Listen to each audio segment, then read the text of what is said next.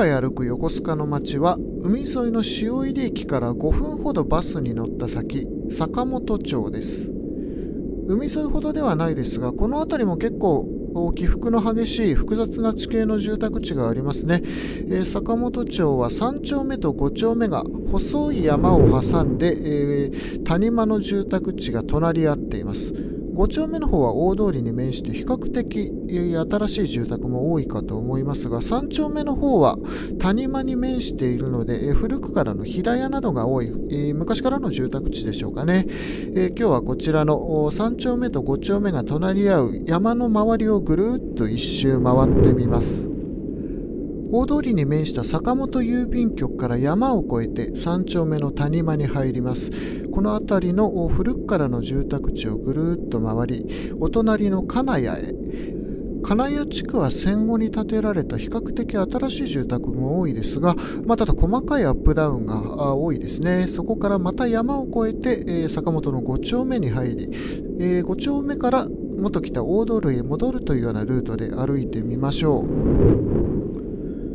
時刻は夕方の4時頃ですかね。4時半ぐらいかな。徐々に空が暗くなる夕暮れ時です。夕日を眺めながら坂本町を歩いていきましょう。よいしょ。坂本郵便局の前、えー、大通りは車通りが結構多いですね。こちらの大通りは2000年代に入ってから道路の拡張工事がされたということで、えー、まあ、それ以前もバス通りだったとは思いますけど、バスギリギリの車道だったようですね。それが、えー、拡張工事をされて比較的通りやすくなったんじゃないでしょうか。ただ一歩入ると昔ながらの細い道が残っておりますな。えー、左手側が冒頭上から眺めていた山の突端部に当たるかと思いますね。えー、あなんか駐車場を挟んで向こう側にジグザグに折れ曲がった階段がありますね。多分個人宅用の階段だと思うんですけどね、かなり大掛かりな階段が斜面にありました。戦後すぐの航空写真を見ても、あの辺り、えー、この左手側の山の上辺りには民家が数軒ありましたからね、もしかしたら古くからのお宅が、えー、個人用の階段をこう完備されて、丘の上に今もお住まいなのかもしれないですね。坂本町は明治の中頃までは個数、家の数が14個ぐらいしかないというかなりのこじんまりとした農村だったそうですけれども、それが横須賀の他の町と同じく、えー、軍港ができたことで明治の後期ぐらいから一気に人口が増えたそうですね。大正から昭和にかけてはこの右手側の大通り沿い、大通り沿いには劇場ですとか芝居小屋もあったと言いますから、まあ相当一気に人口が増えたんだなと思います。ただこの現在はそれほど当時の面影は残ってないでしょうね。えー、右手側の大通りの方はかなり新しい住宅建てられていますが、えー、こちら左手側、階段を上った先にはかなり昔からの路地ですとか民家が残っているかと思います。こちらの階段を上って反対側の谷間に向かいますけれども、こっちも細い道がずっと奥の住宅まで続いていますね。多分こちらの階段から枝分かれして右手側の住居に、えー、続く道がいくつか枝分かれしてるかと思いますね。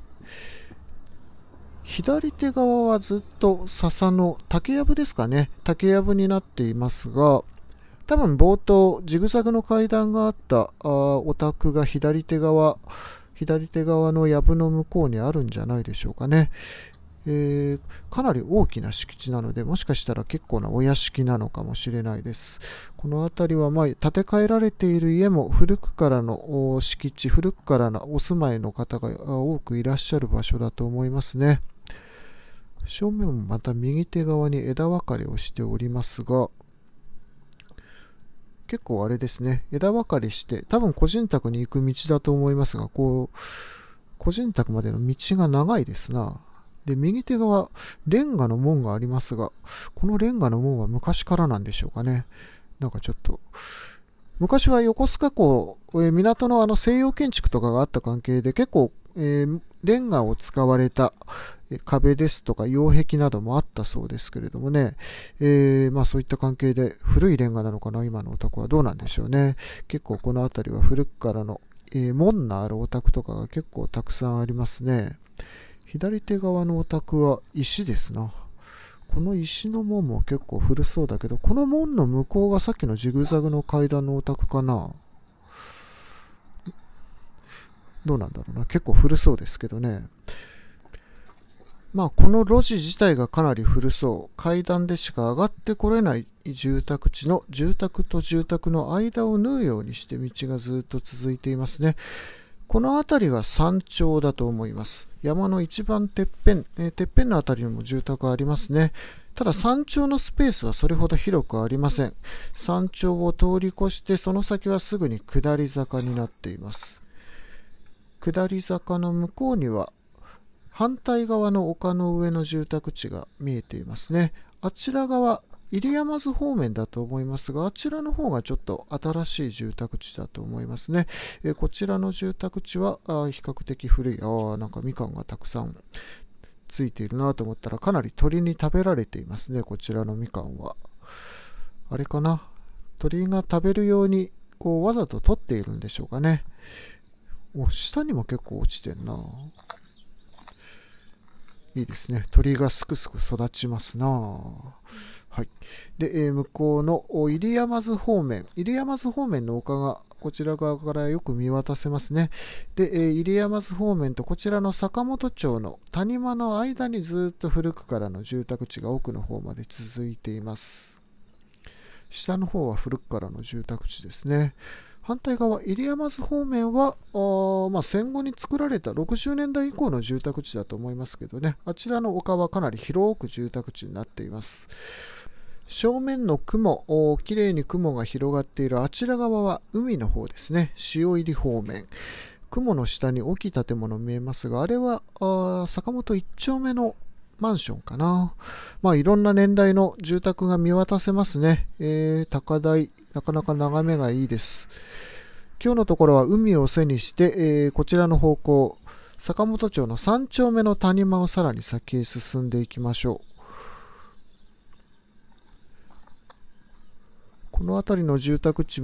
まあ古くからの住宅地ですけど、以前から畑があった場所が新しく住宅地になったりというような場所もありそうですね。え、かなりだんだんに整備をされています。えー、上の方にも結構住宅ありますね。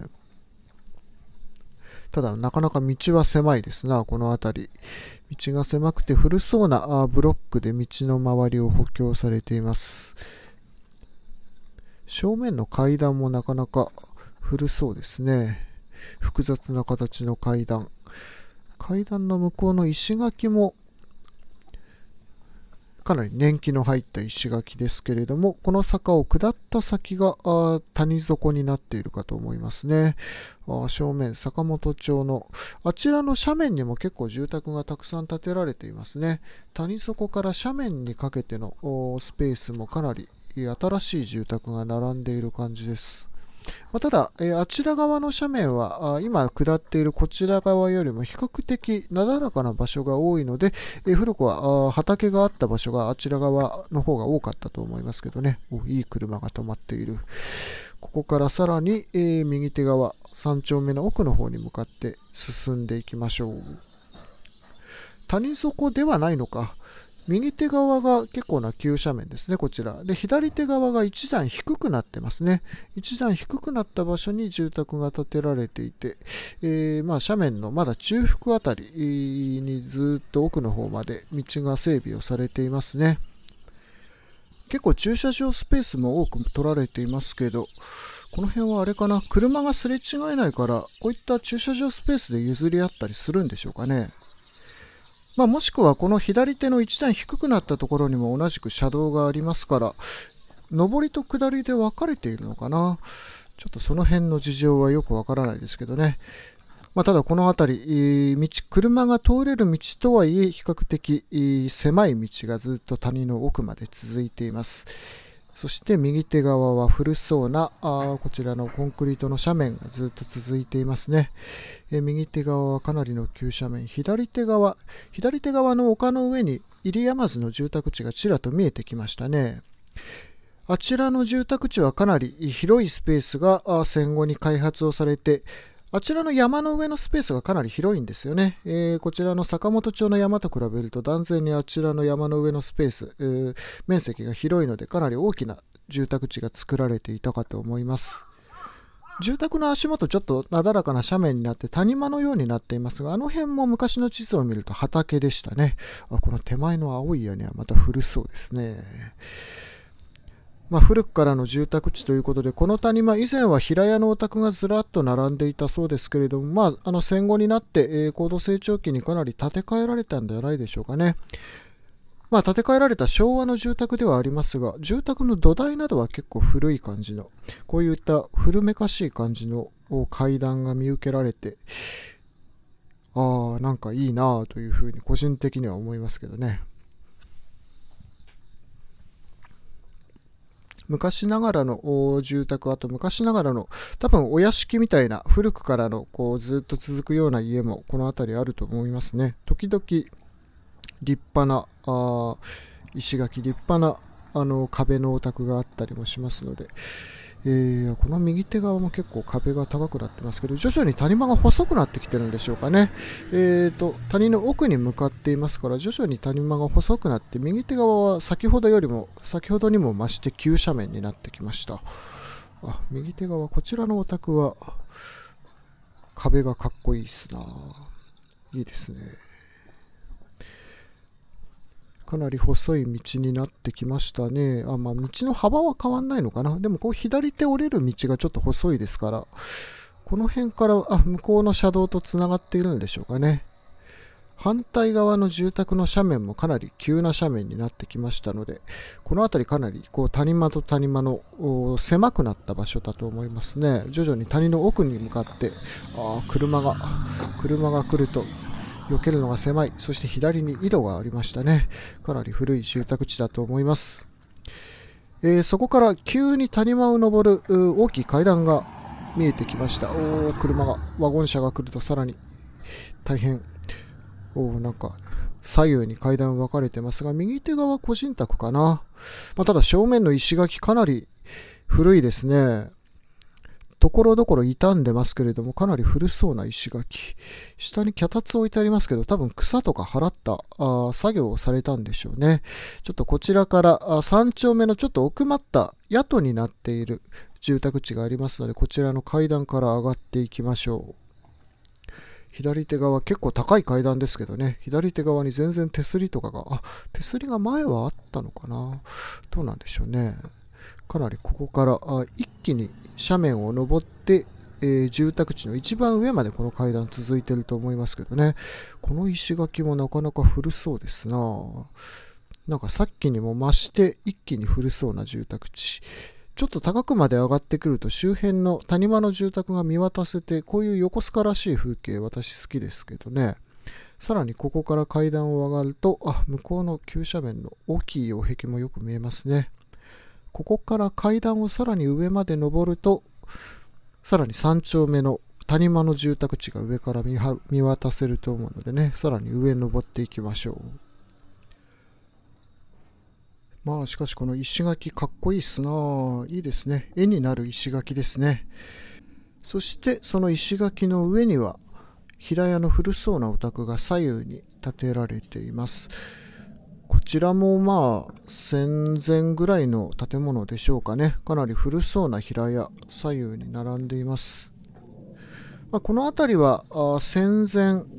昭和の初期ぐらいの町の配置ですと、谷間の最深部、一番奥の町だったと思いますね。えー、海沿いの塩入町から坂を登って、えー、坂本の谷間を縫って、えー、徐々に道が細くなり、で谷間の町の最深部があこの野党の集落の辺りだったと思います。現在はここからさらに先、えー、絹笠、絹笠境町方面まで道は続いているんですけれども、当時、えー、まだ昭和初期の頃はおそらくそこから先は山道になったり畑になったりでそれほど大きい道は続いていなかったと思いますのでね、えこの辺りは当時の住宅地の一番谷間の奥まった場所にあった住宅地だと思いますのでね、えー、まあ、その頃から古くから住宅が建てられていた場所でもあると思います。まあ、しかし、よくこんな高いところに当時家を建てようと思ったなというふうに感心しますね。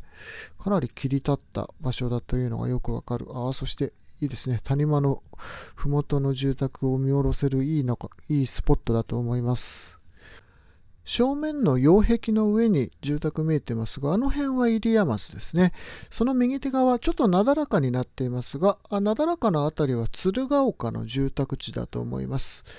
こちらの坂本町3丁目の周辺、入山津ですとか鶴岡の方は戦後になってから住宅地の開発が始まったエリアですね、えー、かなり、戦後1960年ぐらいにまた一気に人口が増える時期があってその頃盛んにこの辺りも開発をされました。あなのでこの坂本町3丁目の野党の、えー、住宅地に関しても、まあ戦前から住宅地自体はあったんですけど、住宅の数が一番多かったのは戦後、1960年代から70年代にかけてじゃないでしょうかね。今この正面ちょっと空き地になっていますけれども、昔は今の空き地の辺りにも住宅がみっしり建てられていたんじゃないのかなという気がしています。まあ今どうしてもこういった斜面の住宅地、空き家ですとか空き地が多くなってますからね、この辺りも一番マックス、住宅が多かった頃に比べたら、だいぶ住宅数は減ったかと思いますけれどもね。えー、ということで、一番山の頂上までたどり着きました。こちらのお宅は眺めがいいんでしょうな遠くの方には横須賀の中央駅かな塩入駅かな高層ビルが見えておりますね。あ、ちょっとカメラの動きが、カメラの動きがちょっと良くない、良くない。よいしょ。あ、動いた。で、えー、先ほどの鶴岡方面ですね。ここからさらに右手にずっと行くと、衣笠方面まで道はつながっています。今、下の方に見えるのは、この谷間の住宅地の一段低くなったところですね。あちらの方が年代的には古いと思うんですけどね。えー戦前、えー、大正、昭和の初期ぐらいからずっと住宅地だったあたりだと思いますので、えー、今上がってきたこちらの階段からぐるっと回って、一段低くなった住宅地までこちらの山頂から回っていきましょう。かなり急な斜面を一気に登って山頂まで来ましたけど、住宅地の中に入るとかなり道がまっすぐですね。えー、道がまっすぐに整備をされていて、あ、右手側も空き地だ。ここも住宅建ってたのかな、以前は。まあ、ただ、あの、かなりまっすぐな道が直角に交差をしているので、古くからの住宅地ではありますが、かなり計画的に作られた住宅地なんじゃないのかなというふうに想像しますけどね。えー、どうなんでしょう。住宅の骨格、道自体は、もう、えー、戦前にはこの形、ほぼ同じ形で出来上がっていますから、かなり古い時期に計画的に作られた住宅地なんだと思います。えー、まっすぐな道、階段、まあ、階段でアップダウンはありますけど、階段自体はまっすぐですよね。まっすぐな道がずっと下まで続いております。右手側やぶになっていますけど、こっちも以前は住宅があったのかな。その下は2階建てっぽいですけど、左手はまた古そうな平屋ですね。で、その平屋の向こう、谷の一番奥まった場所に2階建ての建物ありますけれども、あそこがこの谷間の一番奥だと思います。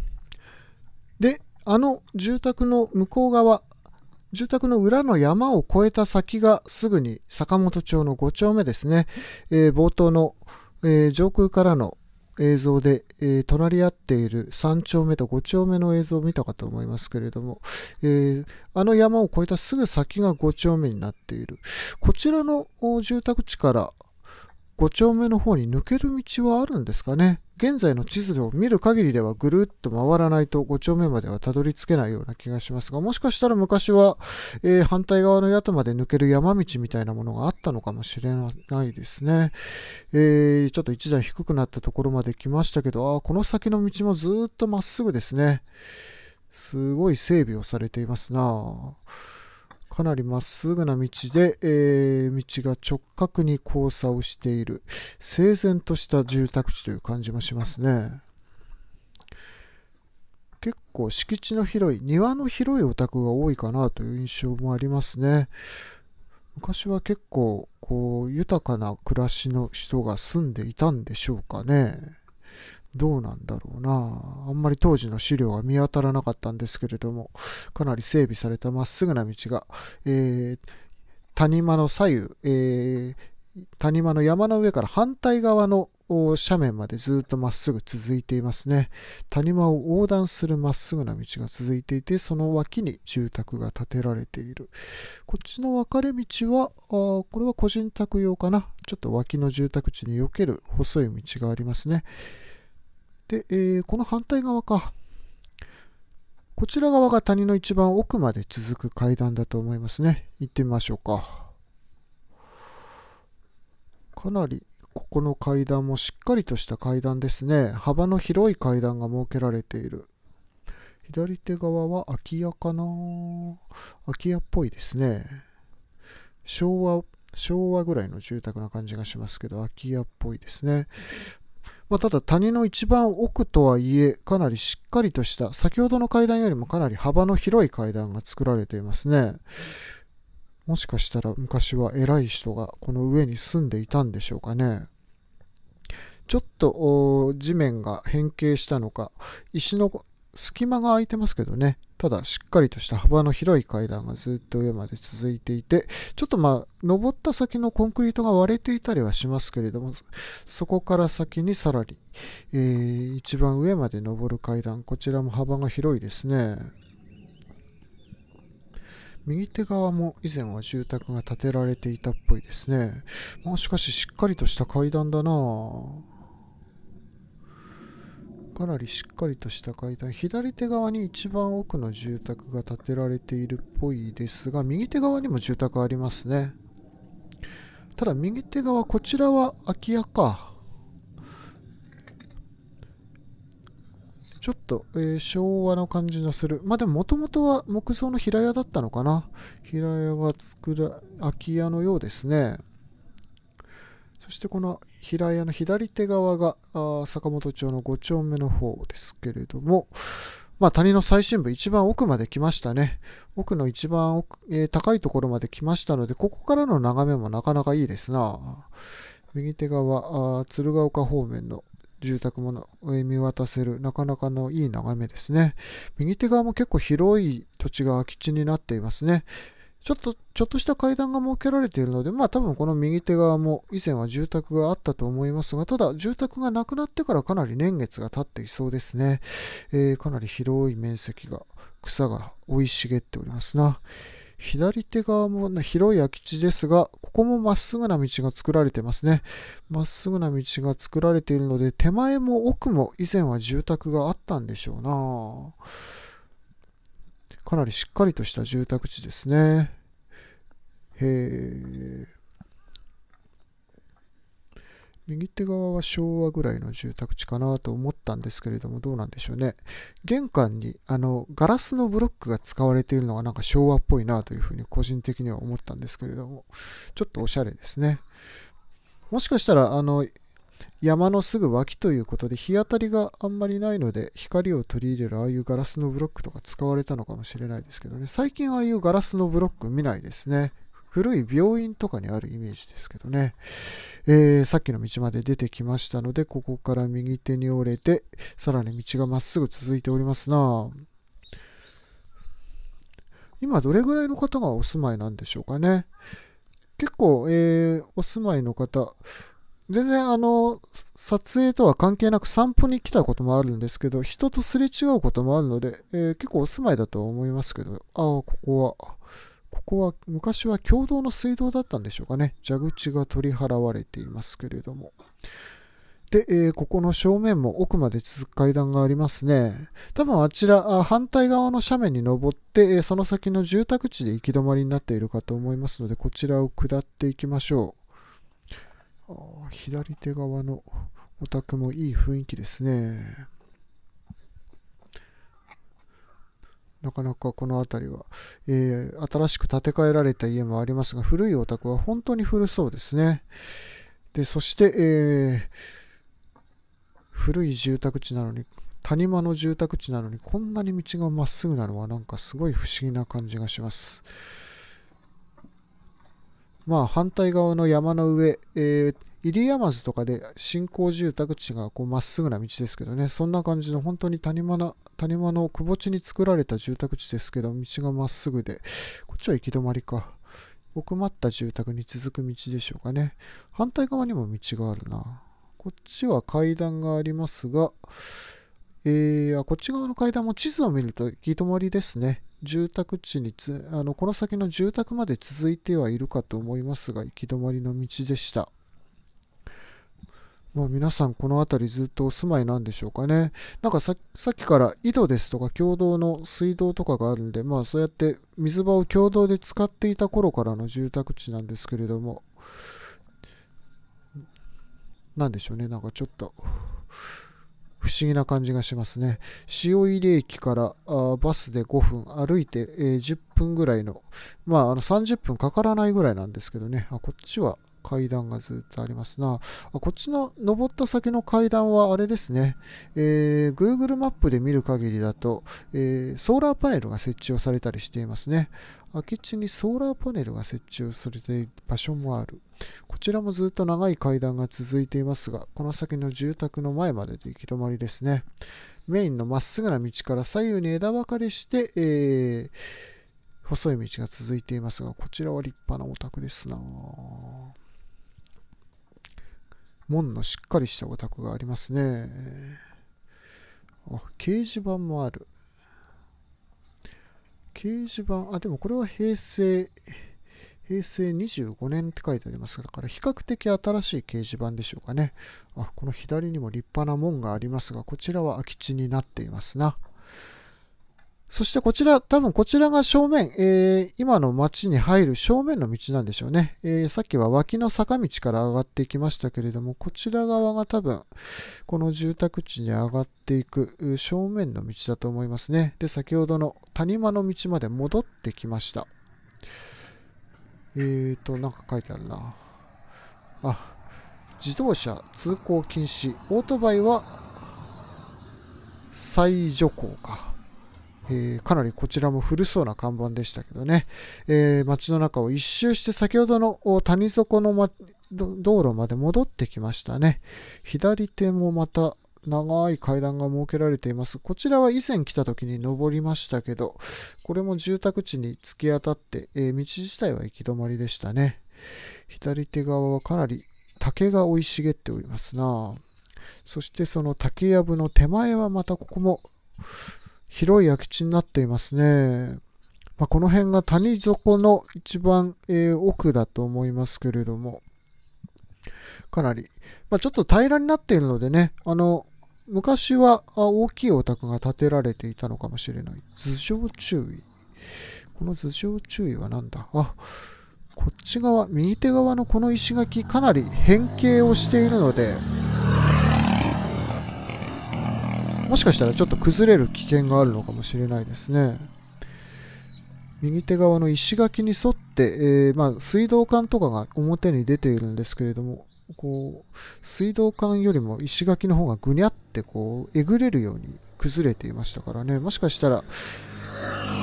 石垣の裏側の地形が崩れたのかもしれないですが、ところどころ頭上注意が定期的に貼ってありますね、頭上注意の看板が。この辺はもしかしたら崩れやすいのかもしれないですな。まあ、ただ石垣自体はかなり古そうな石垣。あ、こっちは本気で崩れてますね。ブルーシートがかかっています。意外とこの辺は交通量が多いですね。えー、奥の衣笠方面から坂本町の方に抜ける車がひっきりなしに通ってきますな。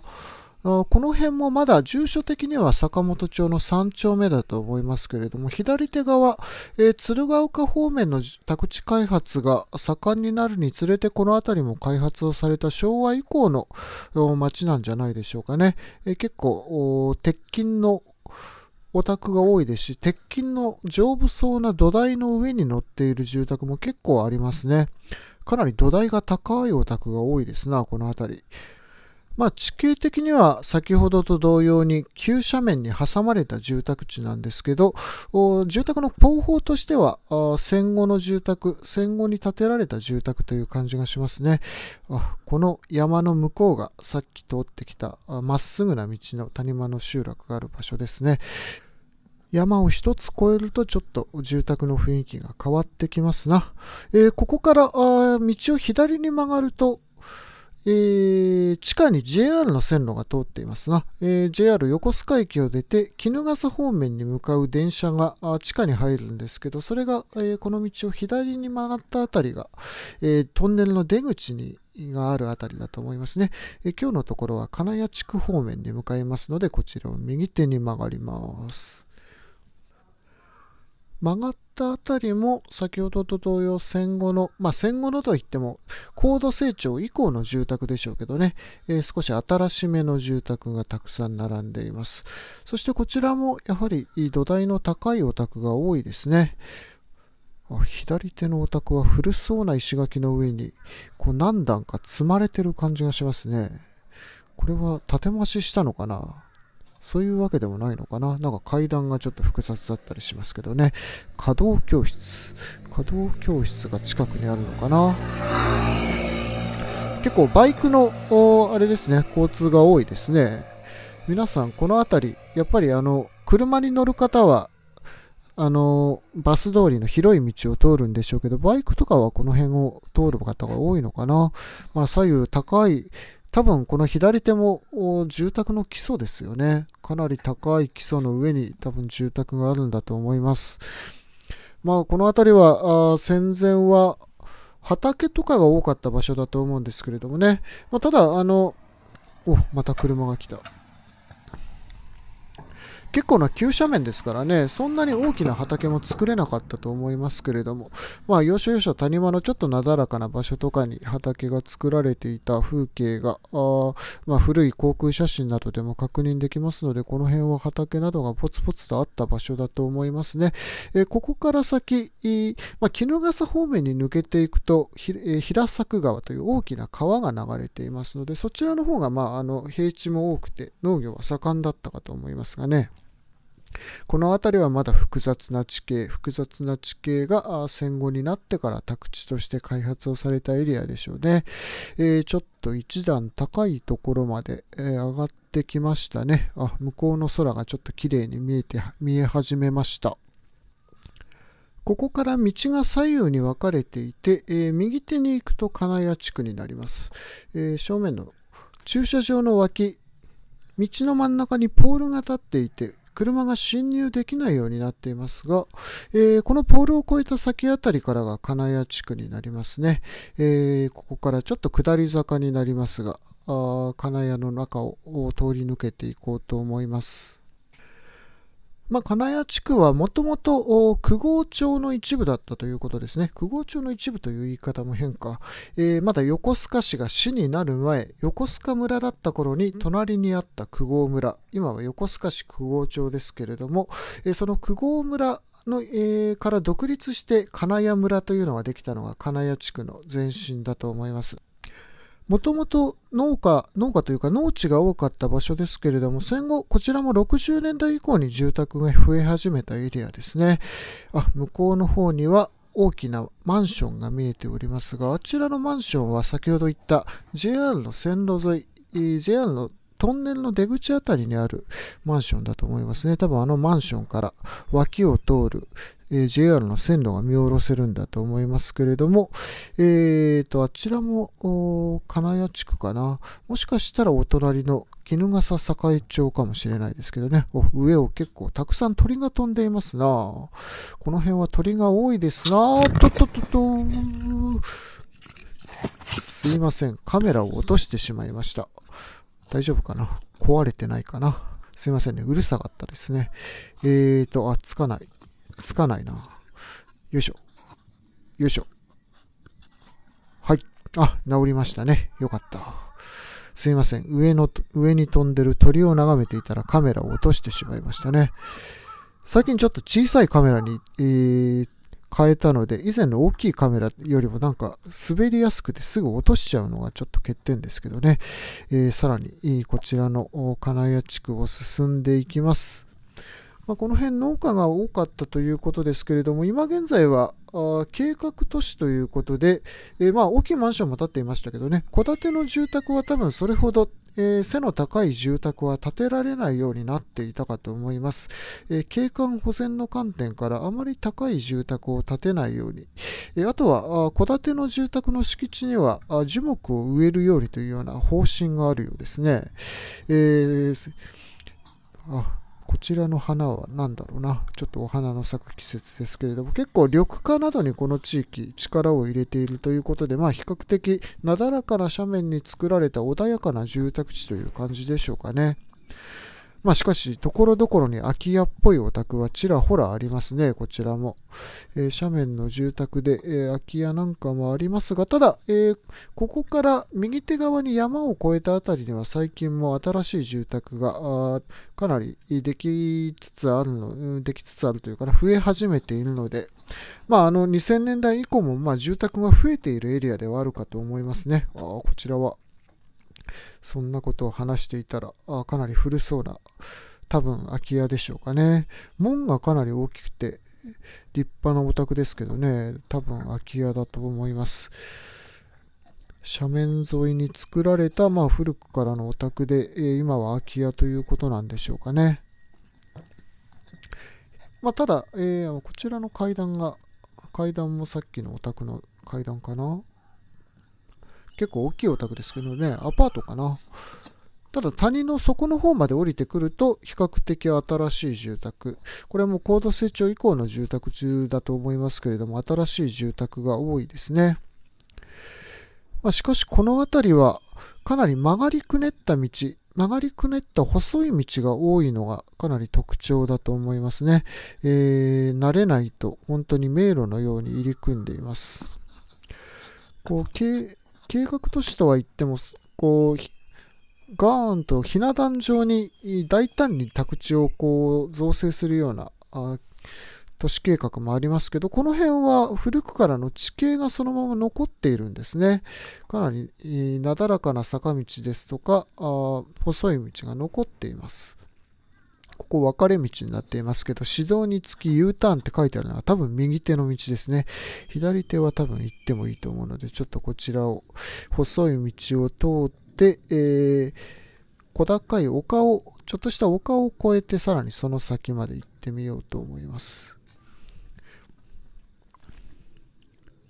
これこも周辺は竹やぶですね。竹やぶがかなり生い茂っておりますが、あまあ昔からの道なんでしょうね。えーと、ここは以前にこの辺り通った時も撮影したかと思いますが、かなり暗い時間だと街灯がちょっと少ないのでね、真っ暗になっちゃいますが、暗くて見えないとは思いますが、竹やぶの中、左右に道が分かれていて、え道沿いにもいくつか住宅が建てられていますね。えー、まあ、ただそんなに深い森ではない、ちょっとした丘なのですぐに出口までたどり着きます。あ、正面の方にちょっと明るくなってきましたね。えー、反対側の斜面まで出てきたかと思います。ここには街灯があるのか。藪の中には街灯がないけど、入り口には街灯があるんですなで、ちょっとなだらかなあ平地の方まで降りてきましたね。平地の方まで降りてきましたが、左手側かなり高い石垣。えー、そして、えー、この辺も道が細いですね。こう、直線的な道じゃなくて、えー、ぐねぐね曲がりくねった道がかなり入り組んでいるので、慣れないと方向感覚を見失ってどっちに進んでるのかわからなくなるんですよね。えー、正面の道、突き当たりになっていますが、この道をずっとまっすぐ行くと平作川が流れている方ですな。えー、正面ちょっと平らになっていますけど、ここもかなり曲がりくねっていますね。住宅の前を直角に曲がって奥の方まで道がぐにゃーんと曲線的に続いています。この辺の道変わっているなと思って昔の地図と照らし合わせてみたら、あ昔はこの辺り池があったようですね。多分この辺りの宅地は池を埋め立てられて作られた宅地なんだと思います。1950年ぐらいまでですかね、この辺はかなり大きな池がありました。まあ、郷土史を見てみても、何だったかな？小技大池という地名が残っていましたから、多分こう池周辺が大池というふうに呼ばれていたんじゃないでしょうかね。ちょっと階段になって一段高くなっていて、その先に公園があるんですけれども、この先の公園も昔は池だったと思いますね。ちょっと私が地図の座標を見誤っていなければ、この右手側、ちょっと柵がしてある先が公園なんですけれども、こちらの柵も昔は池だったと思いますね。で、池の脇を、こう、ちょっと一段高くなったあ、上まで登る階段がありますので、こちらの階段を登ってさらに先まで進んでいきます。まあ、先ほどの3丁目の直線的な道とは対照的ですね。階段もかなり曲がりくねって地形に沿った道がこの辺は特徴的ですね。ここは歩行者専用階段で、えー、徒歩でしか入れないところ、えー、土地ですけれども、この先ちょっと広くなって車道にはなっているんですけれども、車道では、車道になっていても道は曲がりくねったままなので、結構車の運転もこの先慣れてないと大変だと思いますね。えー、僕は運転が下手なので、いつもそういう心配をしてしまいますが、左手側は国有地、空き地になっておりますなぁこの先から車通れんのかな？結構昭和の感じのするお宅が多いですけどね、道沿いはかなり。ただ、えー、ところどころに 2x4 の新しい住宅も建てられたりしていて、えー、古い住宅、新しい住宅、かなり混在していますが、ここからちょっと登った先が結構新しい住宅が固まっているあたりだと思いますね。えー、坂の上、見晴らしのいいあたりが、あ、ここも車が入ってきて、大変そうですね。はい、すいません。ご苦労様です。あかなり曲がりくねったところ、結構車通ってますね。結構車が通っていますし、曲がりくねった道沿いのちょっとしたスペースに結構車が止められています。右手側も駐車場になっているようですね。まあ、ただこの辺りが丘の頂上に向かうかなり上の方ですけれども、この辺りは新しい住宅が多いエリアなんじゃないのかなと思います。また正面から車来ましたね。うんすいません。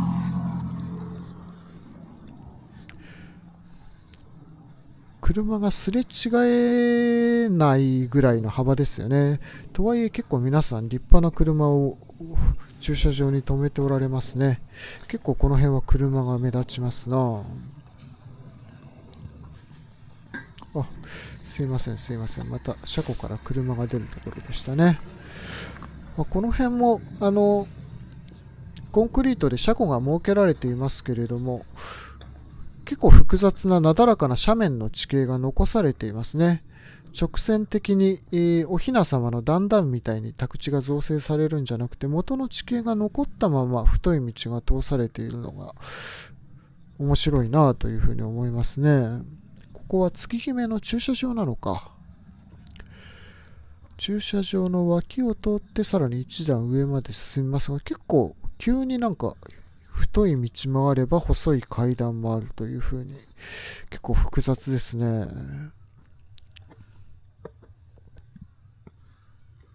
右手側、鬼瓦がたくさん並んでいるのは何でしょうかね。昔の住宅の何かあ記念みたいに取ってあるのかな。たくさん鬼瓦が並んでいましたが、細い階段を登るとまたちょっと道が広くなって車が通れる道まで出てきましたね。ここも駐車場か。結構宅地じゃなくて駐車場に土地を使っているのも面白いですね。あ、ここのお宅は以前来た時は建設中だったのような気がしますけど、完成したのか。細い道を抜けて、この辺りが、あこの辺りの山の頂上だと思いますね。一番高い辺りまで上がってきたかと思います。この辺りは新しい住宅が多いですね。この正面の道を左に曲がって、えー、左に曲がって、この坂を下った右手側か。右手側が東急のスーパーがあって、左に曲がると大きい幼稚園がありますね。えー、結構、あの、この辺りはあ子育て世帯とかが多いのかな。ここも建築中ですね。えー、かなり、えー、大きなお宅。他の頂上にも建設中なので新しい住宅が徐々に増えていたりするんでしょうね。えーまあそうですね、えー、幼稚園もあれば、こここの坂を下った先には地図を見ると助産院がありますしね。さらにそこから少し行くと、火葬場があったりしますからね。まあこの辺は結構周りに何でも揃うようなエリアなのかもしれないです。ちょっと道が暗くなってきて街灯がないエリアですが、この道から、金谷地区を抜けて、えー、坂本町の5丁目に入ったかと思いますね。先ほどの坂本町3丁目と山を間に挟んで隣り合わせになっている坂本町5丁目の谷間の町に今度は向かって歩いていこうと思います。まあしかしこの辺りはあなんか農道の雰囲気を残した古くからの細い道だという感じがしますね。ちょっと山を越えて、この辺りはあまり新築の宅地という感じもしませんね。なんか古くからの住宅にまた戻ってきたような感じがします。ちょっと急な階段を下って、その先がまた平らになっているかな。この辺りの地形もかなり複雑ですけれども、結構左右のお宅は古そうなお宅が並んでいますね。あそして正面にはまた車がたくさん止められているこの辺りのお住まいの方の駐車場ですかね、えー、下の方にかなり広いスペース、駐車場になっていますが、この辺りも以前は畑があった場所なのかもしれないですね。ちょっと平らになった場所、かなり広大、えー、広めの場所が駐車場スペースになっていて、え、そこから先、え、山の斜面にポツポツと住宅が建てられているという感じでしょうか。あまあでも、えー、あれですね、駐車場多いですね。この辺りはもしかしたら家があったりしたのかな？この辺りも曲がりくねったちょっとなだらかな坂道ですけれども左右に大きめの駐車場が設けられていますね。えーと、ここを左手に曲がって大きい道沿いにも5丁目の方まで行けるんですけれども、ちょっと今日はこちらの細い道を通って行ってみましょうか。徐々に暗くなってきましたのでね、あんまり暗くなると撮影できないので、なるべくショートカットで、えー、近道をしつつ5丁目の方に向かおうと思います。ちょうど今正面の街灯がついたところですね。徐々に、えー、周辺暗くなってきましたな。もう夕暮れというかもう徐々に夜に近づいていますね。この辺り、えー、古くからの住宅地がまた広がっているエリアです。細い道、バイクは入ってこれるけど車が入ってこれないようなエリアですね。で、えー、さらに斜面の上の方の住宅まで階段が伸びていますので、こちらを登って山を越えて5丁目の方に、5丁目のあの先ほどの谷間の住宅地に入っていきます。ここはもう見るからに古そうな宅地ですね。石垣もかなり古そう。結構井戸が残っていたりもします。この石垣の上、平らになっている以前宅地だったスペースにも奥に井戸がありますね。左下、井戸が残っていたりします。まあ多分昔からの農家だったり、そういう方がお住まいだった場所だと思うんですよね。えー、まあ階段はまっすぐですけれども、右手側の石垣もかなり古そうで、確か地図を見ると山頂の住宅を越えたあたり、上の方には畑も現在残っていたかと思いますね、え、ちょっとした畑のスペースが現在も残っているような場所だと思います。えー左右は古い平屋ですね。えー、かなり古い平屋が階段の左右に建てられていて、ここもそうですね、えー、枝分かれして門があって、えー、その先の住宅までというような宅地の作りになっています。右手側、管が通っているのは、これは水道管かな？結構生活インフラが表に出てるのは割と斜面の、えー、住宅地はよく見ますけど、階段沿いに結構水道管が出ていたりするんですね、この辺り。えー、で正面には突き当たり住宅がありますが、この住宅はまあ空き家でしょうね。えーと、こちらの住宅が空き家ですけど、ここがあ山頂付近かな。山頂付近なので、麓の住宅、あ昼間だともっとクリアに見えたかもしれませんけれども、遠くの方までよく見えますね。こちらのお宅もかなり眺めがいいお宅なんでしょうな。えーと、あちらに見えるのは池上の方でしょうかね。その向こうの道路は県道の横須賀葉山線が通っていたりもする平地の町になっていますが、えーと、こちらの右手側廃屋だと思いますけどね、細い道を通って山道を抜けて、えー、先ほどの5丁目の谷間の町まで、えー、抜けていこうと思いますので、ちょっとこちらの細い道を通っていきます。かなり細いですけれどもね、えー、山道のようになっていて、えー、5丁目の公園までこちらから抜けられるので、えー、こちらの道を通っていきますが、あ、こちらの道、そういえば街灯がなかったな。もうちょっと暗くなるともう通れなくなりますね、この辺は。もうかなり本格的な山道。一気に山道になりますね。えー、まあ、かなりこの辺りの山は山頂が狭い、そんなに宅地にもできないし農地にもできないようなかなり、えー、切り立った斜面の山なので、えー、まあ、こういった細い山道が手つかずで残っていたりするんですね。えかなり細い道、ふもとの方には坂本町の街並み、ふもとの街並みが見えておりますが、こちらの山道を通って、えー、ふもとまで降りていきましょう。結構暗いな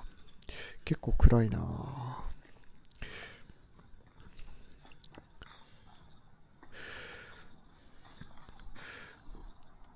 この辺、あれですね、でも、ふと思い出しましたけど、この辺近くに火葬場があるんですよね。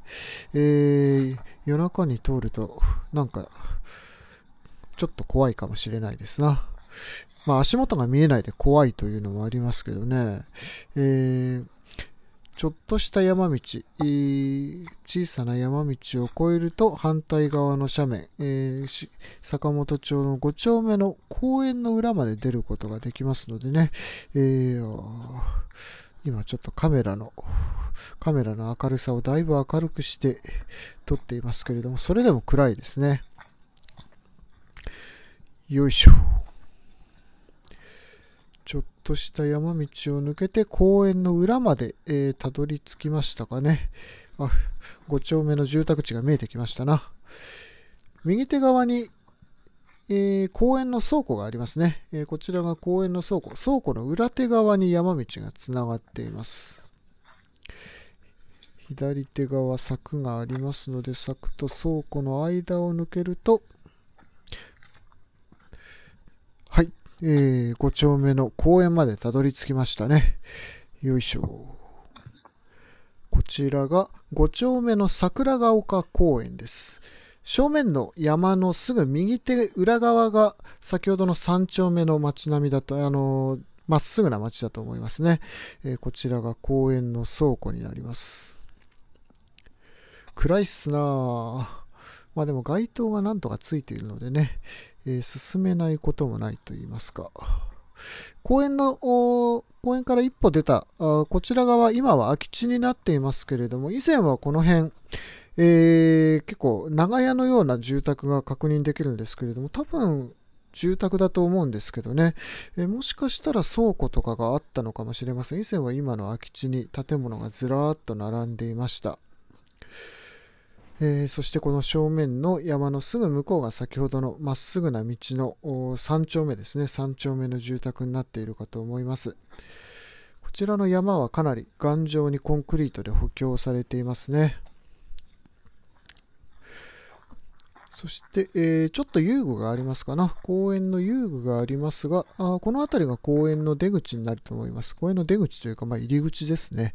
えー、こちらから公園を出るとすぐに5丁目の宅地になっていますね。先ほどの3丁目とは打って変わって山を1つ挟んだだけですけれどもこちらの住宅は建物がかなり新しい、えー、1970年代以降ぐらいの建物になっていると思います。住宅地自体もきれいにひな壇状に造成をされて車が入れるように太い道が住宅に張り巡らされていますね。まあ、こちらの周囲をぐるっと山に囲まれた住宅地ですけれども、1960年に大規模な火薬の爆発事故があったそうですね。えー、まあ、かなりの大惨事だったようで、YouTube にニュース映像も残っているので、えー、概要欄に貼っておきますけれども、えー、当時の山田重宝火薬店という、まあ、住宅地の中にあったあジホ店の火薬庫が爆発したということで、えー、住宅1000棟に被害があったというようなニュースが、えー、残っていました。住宅1000棟。まあ、1960年、昭和30年頃の坂本町の戸数は、だいたい2400個ぐらいだそうですから、まあ、坂本町半壊みたいな大惨事だったんですね。えー、まあ、そのためこのえー、谷間の町、それ以降、1960年代から70年代にかけて、ま、ガラッと作り変えられたんだと思います。あ正面には街灯があって折れ曲がる道になっていますけれどもね、ここを右手に曲がると、古い地図を見ると、反対側の宿に行けたのかなみたいな道もあるんですけれども、実際に行ってみると多分行けないですな。もしかしたら住宅をゴロッと作り変えるときにそちらの道も塞がってしまったのかもしれないですね。えー、まあまあ、いずれにしてもかなりの大惨事だったということで、えー1960年の航空写真はなかったんですけれどもね、1966年ぐらいの航空写真を見ると、まるっと谷間の町が更地になっていましたね。その後、1970年代ぐらいに、まあ、宅地が、えー、作り変えられて今に至るということだと思いますけれども、まあ、それにしても、銃砲店銃砲店の火薬の爆発でそんなに大爆発起きるんだろうかというふうにも思ったんですけれども、まあまあ銃砲店とは言っても、捕鯨に使う火薬の火薬庫が爆発したということでね、えー、まあ、から、えー、まあ、すごい爆発だったんでしょうね。当時の住所も公開されていますけど、多分この辺りの住所が爆発の爆心地だったと思います。えー、この辺り、えー、そうですね、えー、ここから谷沼の出口に出る、この付近が、えー、爆心地だったと思いますけど、今ではかなり綺麗に宅地造成をされていますね。死傷者が、うん？しえー、死亡が1名出たというようなニュースでも言ってましたけど、死亡が出て怪我人が数百人いたということでね、えー、深夜の爆発事故だったということですけれども、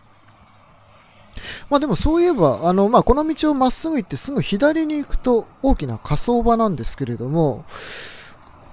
大規模な事故で死亡があったにもかかわらず、この辺であんまり、あれですね、心霊スポットみたいな噂は聞かないですな、そういえば。まあ坂本のあの、催事場、火葬場の近くのトンネルでは、時々 YouTube とかでも、えー、心霊スポットとして紹介されている場所があるんですけれども、大きな火薬の爆発があった場所はそんなに心霊スポットとしてもこう取り上げられていないというのは、まあまあ、あんまりそういうお化けとか出ない場所なんですね、きっと。うん。なんて話をしながら、あ住宅地を抜けて、えー、さっきの大通りから一本裏に入った道まで戻ってきましたね。えー、山の外周をぐるっと回って、先ほど歩き始めた場所に徐々に近づいてきたかと思います。結構この辺りにも車の音が聞こえてきますね。えー、左手側の住宅1本挟んで向こう側が大通り、えー、この時間でも結構車の通りが多いですが、右手側、ちょっと斜面になっていて、右手側の方に古い住宅がポツポツと残っていますかね。まあ、大通りから1本入ったこちらの山の外周を通る細い道はおそらく戦前からそれほど変わり映えのしない、えー、昔ながらの細い道だと思います。左手の車道側には大きな建物も建てられていますね、えー、この辺は道路の拡張工事以降に作られたんでしょうかね。えー、かなり、最近2000、2000年代に入ってからあ道路の拡張工事が行われたということですけれども、それ以前の風景、私知らないんでね、えー、どんな感じだったのかなというふうに興味がありますけれども、えー、かなり道路沿いは新しい建物、鉄筋の建物などが結構たくさん建てられていますね。えー、山の外周をぐるっと回って、えー、坂本町5丁目を通り過ぎ、この辺りはもうすでに坂本町の3丁目辺りまで戻ってきました。えー、石井明さんという郷土史家の方がウェブで、え、書いておられますけれども、